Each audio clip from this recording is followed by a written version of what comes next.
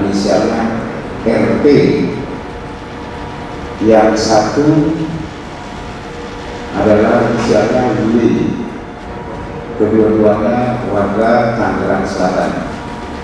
Yang sementara sekarang ini diamankan di Polres Metro Tangerang Kota dalam pemeriksaan pemeriksaan narkoba Polres Metro Tangerang Kota. Diamankan padanya ditemukan ada